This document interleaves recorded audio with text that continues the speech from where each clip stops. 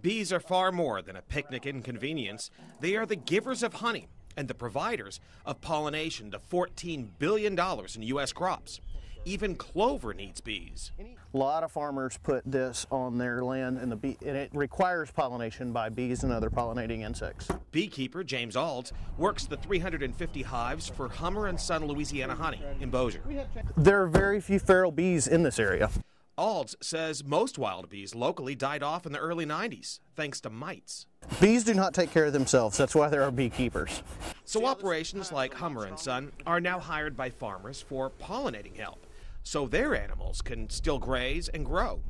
Ald says half the country's bees are in California, helping pollinate huge crops, especially almonds.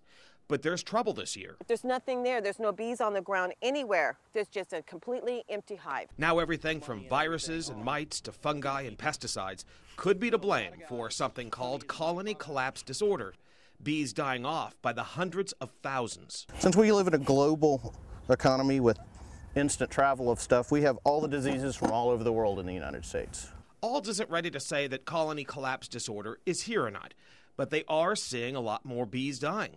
Typically, a honey farm like this might see a 10% reduction in its bees over wintertime. This time, it's 30%. What would make them start to panic?